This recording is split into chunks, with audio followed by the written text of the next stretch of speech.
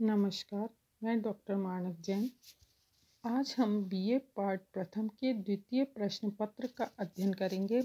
कल हमने देखा था जैन धर्म के का उद्गम, जैन धर्म का विस्तार और जैन धर्म के तीर्थंकर भगवान पार्श्वनाथ और महावीर स्वामी के विचार और सिद्धांत। आज हम देखेंगे जैन विचार परंपरा।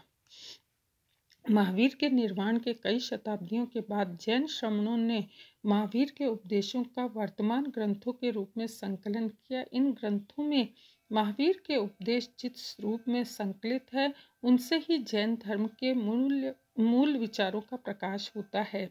जगत के संबंध में महावीर के विचार यथार्थवादी है। सृष्टि यदि काल में, आदि काल में ऐसे ही चली आ रही है तो कभी किसी ने उत्पन्न किया हो ऐसी बात नहीं है।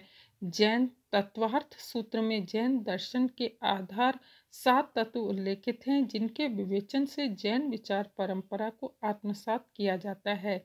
ये तत्व है जीव, अजीव असत्र बंध, निर्जरा और मोक्ष। जैन विचार में आत्मा को जीव का है, चेतना जीव का लक्षण है। चेतना लक्षणों जीव जगत के पदार्थों को यहाँ पर द्रव्य कहा गया है। द्रव्य के दो रूप है। इसका चेतन स्वरूप जीव है और अचेतन तथा भौतिक स्वरूप अजीव है।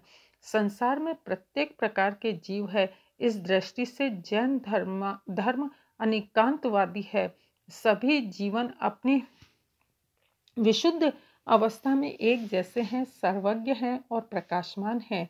जीव जिस शरीर में रहता है वैसा रूप ग्रहण कर लेता है, परंतु पृथक पृथक शरीरों में बद्ध होने पर भी उसका मूल गुण नष्ट नहीं होता है। संसार में आते ही कर्म करने के कारण जीव अपने मूल स्वरूप को विस्मृत कर देता है।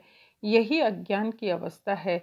ज्ञान, अज्ञान के कारण ये कर्म करता है और उसके फल भोगने के लिए दूसरा जन्म लेकर दुख भोगता है। अतः कर्म और कर्म फलों का नाश करके जीव कैसे पुनः अपने वास्तविक स्वरूप का साक्षात्कार करे, यही जैन धर्म की सबसे बड़ी समस्या है। बच्चों अजीव तत्व के माध्यम से जीव संसारी बनता है। अजीव के पाँच भेद है, पुद्गल, धर्म, अधर्म, आकाश और काल। पुद्गल अपने मूल रूप में परमाणु है और अनेक परमाणु मिलकर स्कंद रूप में स्पर्श रंग, रस, गंध, वर्ण गुणों से संयुक्त होकर इंद्रियों द्वारा ग्राह्य होता है। धर्म गति गति का और अधर्म स्थिति का सिद्धांत है। आकाश अनंत अवकाश है और काल सीमा से परे शाश्वत तत्व है।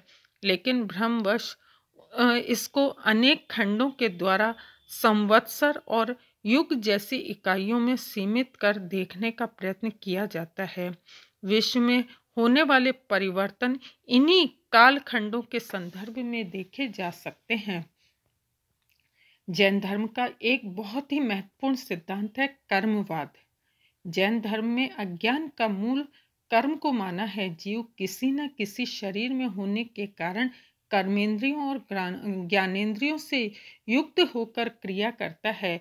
वही कर्म है। कर्म के प्रभाव से जीव का मूल स्वरूप ढक जाता है, इसलिए वह अपने मूल स्वरूप को भूल जाता है। कर्म के जीव आच्छादित होने की अवस्था को बंद कहा जाता है। प्रत्येक जीव अपने कर्म के लिए उत्तरदायी है। कर्म फलों को भोगना उसकी नियति है। जैन धर्म का प्रमुख लक्ष्य जीव को कर्म के बंधन से मुक्त करना है। इसके दो उपाय है। एक जीव की और कर्म के प्रवाह को रोका, रोकना होता है। यह महाव्रतों द्वारा किया जाता है। इस क्रिया को सामर कहते हैं। दो, इसी के साथ पुनर् जन्म, पूर्व जन्म के संचित कर्म फलों का नाश भी करना होता है।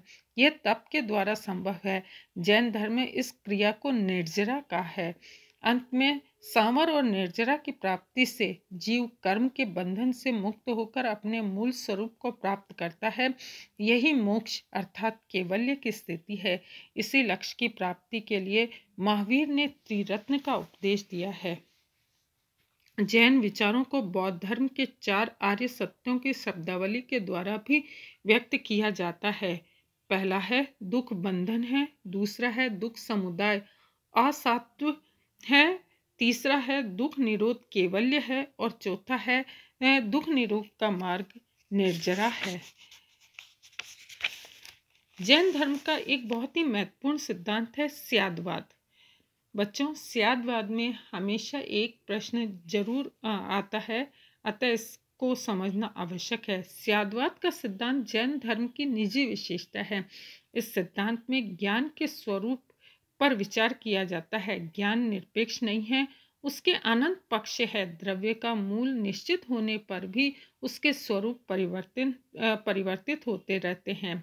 द्रव्य के गुणों को पर्याय का है।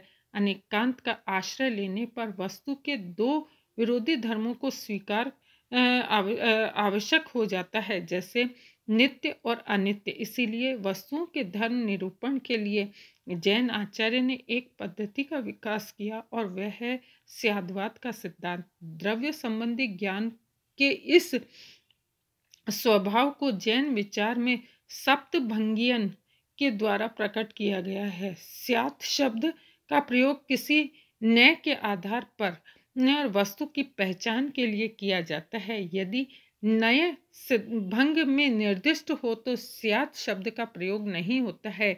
नए का निर्देश हो तो भंग के सात प्रकार होते हैं, जैसे स्यात शायद है, शायद नहीं, शायद है भी, नहीं भी, शायद अव्यक्त है शायद शायद व्यक्त है शायद शायद अव्यक्त और व्यक्त दोनों हैं, शायद है और नहीं भी अव्यक्त है।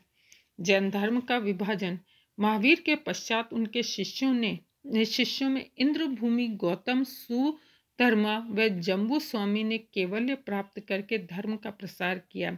इसके बाद के पाँच शिष्यों को जिनमें अंतिम भद्र बाहु थे, श्रुतु केवली कहा है, केवल उन्हें जैन आचार्य, आगमों का पूर्ण ज्ञान था, लेकिन वे केवल पद प्राप्त नहीं कर पाए। महावीर के समय तक लिपि का आविष्कार नहीं हुआ था, इसीलिए उनके उपदेश श्रुति परंपरा में विद्यमान रहे। महावीर ने प्राकृत या अर्ध मगधी भाषा में उपदेश दिए। उनके वचनों को शुद्ध स्वरूप शुद्ध बना रहे।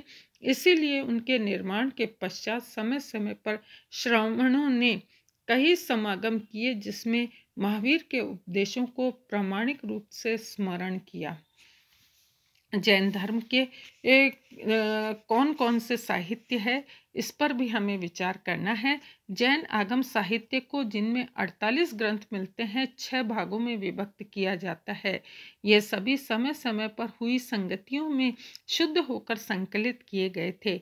इन साहित्य में अंग, उपांग, प्रकीर्ण, छेद सूत्र, मूल सूत्र अथवा अन्य विविध ग्रंथ शामिल है।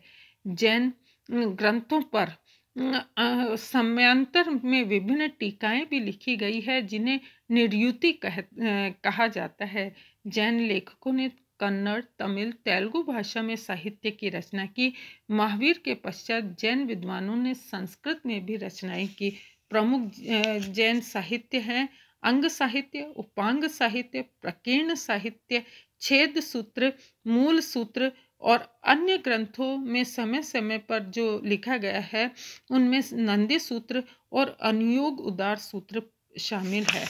इस प्रकार जैन धर्म एक विशेष धर्म के रूप में समाज में प्रचलित है।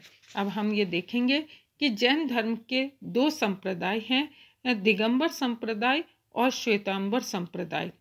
जैन धर्म की भारतीय संस्कृति को क्या देन है, ये देखना भी हमारे लिए आवश्यक है। भारतीय इतिहास में जैन धर्म यज्ञ धर्म विरोधी धर्म के रूप में उदित हुआ, जिसके प्रवर्तक क्षत्रिय वर्ण के लोग थे। यज्ञ धर्म उच्च वर्ण के लिए था, निम्न वर्ण के लोगों के लिए यज्ञ नहीं होता था। इसीलिए जैन संघ में ब्राह्मण व चांडाल को एक ही स्तर पर स्वीकार किया है। इस दृष्टि से जैन धर्म का यज्ञ धर्म से विरोध मूलतः कर्म कांड को लेकर था, जैसे जैन आगमों में वेदों को लौकिक शास्त्र कहकर उन्हें मिथ्या नहीं माना है। जैन धर्म को आर्य धर्म भी कहा गया है। जैन भिक्षु की एक संज्ञा ब्राह्मण भी है। जैन धर्म ने भारतीय संस्कृति की श्रमण परंपरा को आगे बढ़ाया। श्रमणों के अनेक संप्रदायों में पार्श्व और महावीर के संप्रदाय शामिल किए गए। जैन धर्म ने भारतीय संस्कृति की योग और तप की परंपरा के विकास में महत्वपूर्ण योगदान दिया। बच्चों, योग और तप का आदर्श सैंधव्य संस्कृति के अनंतर भारतीय विचार परंपरा में निरंतर विद्यमान रहा है। जैन धर्म ने भी इन आदर्शों को अपना कर और उन्हें निरंतर प्रदान किया है। दूसरी बात यह है कि काया कलेश और तप की कठोरता के कारणवश यह अधिक लोकप्रिय नहीं हुआ। जैन धर्म के उदय से पूर्व वैदिक युग में देव तत्व और सर्वोच्च प्रतिष्ठा थी। देवता के समक्ष मनुष्य की सत्ता नगण्य थी। यह अपनी भौतिक इच्छाओं की पूर्ति के लिए देव कृपा पर निर्भर था। परंतु पहले उपनिषद धर्म में और फिर बौद्ध और जैन धर्म में देवता की अपेक्षा मनुष्य को अधिक महत्व दिया है। अतः जैन धर्म की महत्वपूर्ण देन है, मनुष्य की प्रतिष्ठा, मनुष्य स्वयं अपनी नियति के लिए उत्तरदायी है। जैन धर्म में आत्म साधना की प्रतिष्ठा से मनुष्य को गौरवान्वित किया है। यहाँ पर आत्म संपत्ति पर बल दिया है और संपूर्ण सृष्टि में मनुष्य ही इसे प्राप्त करने में समर्थ है, वीतरागी है जिन देव वीतरागी है जिन देवता से भी ऊँचा है। इति नमस्कार।